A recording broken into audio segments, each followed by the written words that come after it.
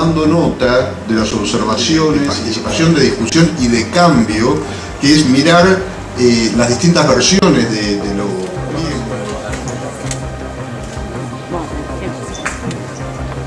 avanzar en la formalización del segundo pliego, o sea, el pliego de los ecos, lleva a la formalización de los cartoneros que, van a, que son nuestros recuperadores urbanos. revolviendo una bolsa de basura, eh, en aquella época del 89 han cambiado muchas cosas, se han mejorado muchas cosas. Es un momento histórico para nosotros el tema de estar hoy acá eh, tratando de eh, los pliegos de los residuos secos, que será, digamos, hace 15 años atrás, no sé, ustedes están locos lo que están pensando. Pero bueno, hoy somos el modelo, la cooperativa del cero es el modelo de separación en origen con los vecinos de separados el primero es que pensamos que la recolección de secos es un servicio público reconocido por la ley y por lo tanto, para que la ley basura cero se cumpla una vez por todas, ese reconocimiento económico debe estar. Tenemos una crítica a este pliego eh, que es que nos ponen a todos en la misma bolsa. Eh, siendo que hay cooperativas, eh, que trabajamos como cooperativistas, otros que están con cooperativas con los proveedores individuales y otros que empiezan recién ahora. No tenemos el mismo nivel de trabajo. Habrá que ayudar a esas cooperativas que recién empiezan. Buenos Aires, a partir del decreto 639, tiene un presupuesto específico para adjudicar a eh, la campaña para separar el origen. Separar el origen es obligatorio y general para todos. Tiene, eh, que la están desmantelando, tiene un área de cooperativas que yo lamento lo que voy a decir, tiene,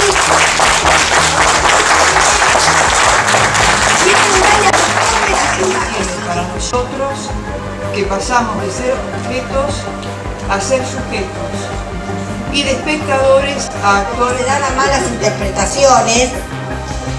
Eh, es importante remarcar eh, esto es algo que nos pasó a nosotros, que nos sigue sido por esta pelea que dimos en forma tan desigual durante estos últimos años. Nos vamos a tener a lo que resuelva la legislatura y esa es una aclaración que me interesaría tener de las autoridades y del ministro.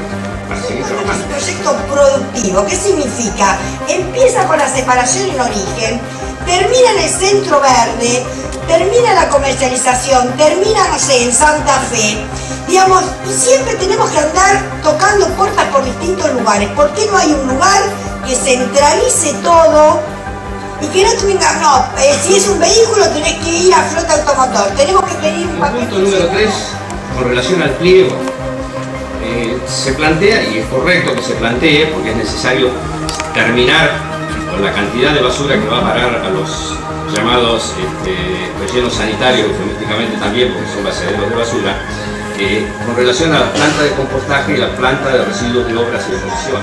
Pero bancarnos no dándonos la plata a nosotros. Nosotros no queremos la plata que me dé a mí la de o el Ministerio de Medio Ambiente.